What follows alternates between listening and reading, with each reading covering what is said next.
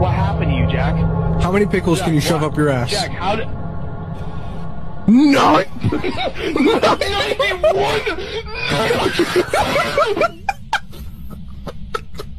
910 pickles?